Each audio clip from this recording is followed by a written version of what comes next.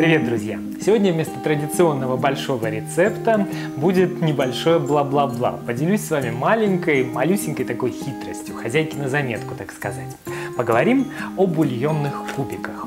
Да, я их иногда использую, даже писал об этом в блоге, ссылку можно найти в описании. Единственное условие, кубики эти должны быть непременно натуральными, сделанными из натуральных ингредиентов, без добавления всевозможного химического, в общем, без вредных добавок, без глютамата натрия, усилителя вкуса, без э, химических красителей, консервантов и прочего добра.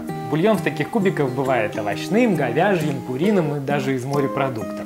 И, конечно, особенно они выручают, когда срочно хочется приготовить какой-нибудь суп или, скажем, ризотто, а запас заранее приготовленного бульона в холодильнике полностью исчерпан. Приготовление бульона это вроде как на поверхности, именно поэтому кубики и называются бульонными.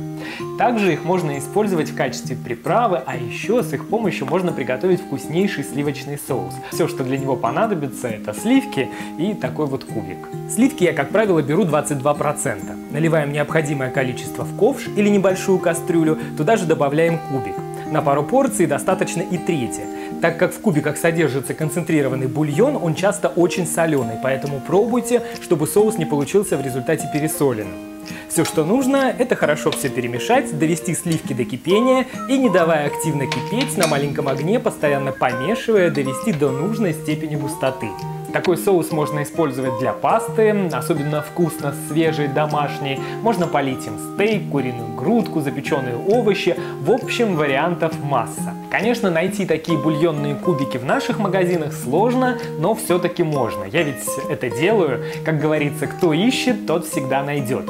В комментариях делитесь своими маленькими хитростями, особенно если вам есть что сказать про бульонные кубики. С вами был Саша Кукин Тайм. Пока-пока.